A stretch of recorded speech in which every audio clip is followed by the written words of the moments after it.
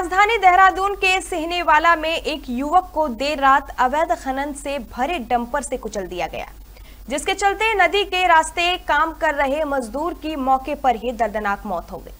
आपको बता दें कि घटना का पता चलते ही आक्रोशित ग्रामीणों ने हाईवे को जाम कर दिया।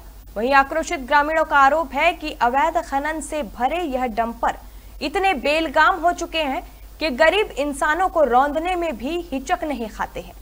वहीं इस हादसे की सूचना मिलते ही मौके पर पहुँची पुलिस ने ग्रामीणों को समझाने का प्रयास किया। साथ ही आरोपियों की जल्द से जल्द गिरफ्तारी का भी आश्वासन दिया, जिसके बाद ग्रामीणों ने सड़क पर लगाया जाम खोल दिया। विकास नगर से इंद्रपाल सिंह की खास रिपोर्ट।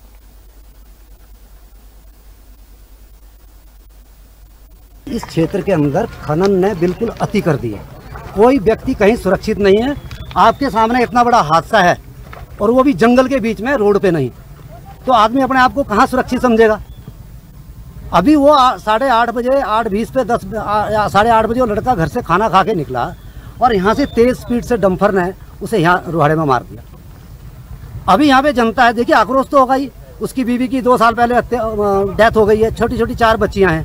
क्या भविष्य रह गया उनका?